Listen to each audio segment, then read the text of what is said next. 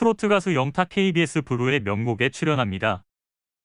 오는 11일 진행될 KBS ETV 브루의 명곡 녹화에 영탁이 출연한다고 전해졌습니다.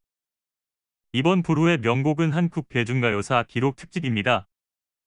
대중가요사의 기록을 세운 명곡들을 재조명하는 시간을 가지며 2주간 방송될 이번 특집에는 여러 장르 가수들이 대거 출연합니다.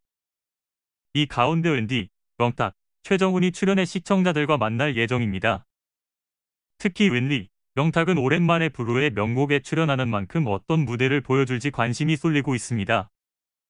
웬디는 2015년 레드벨벳으로 영탁은 2020년 브루의 명곡에 출연한 적이 있습니다.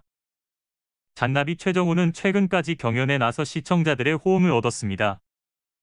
영탁은 지난 2월 신곡 전복 먹으러 갈래를 발매 팬들에게 꾸준한 사랑을 받고 있습니다. 영탁은 과거 브루의 명곡에서 나훈아의 노래 영영으로 무대에 서 시청자들의 호응을 이끌어냈습니다. 이번에는 어떤 무대로 감동과 재미를 선사할지 기대감을 높이고 있습니다. 웬디, 영탁, 최정훈이 이번 브루의 명곡에서 선곡할 한국 대중가요 명곡 거기에 얽힌 사연과 어떻게 재해석해낼 수 있을지 귀추가 주목되고 있습니다.